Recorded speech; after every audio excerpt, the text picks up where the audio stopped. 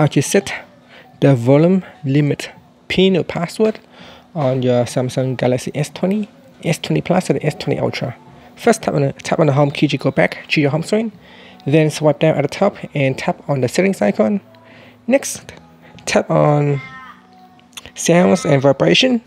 Then tap on volume. Next, tap on the options button at the top here and choose media volume limit. Then make sure it is uh, switch on. And then tap on set volume limit uh, switch. Here you need to put in the pin or password. I'm going to put in 1234 and then tap on continued. And then to confirm the pin, I'm going to put in 1234 again and then tap on OK.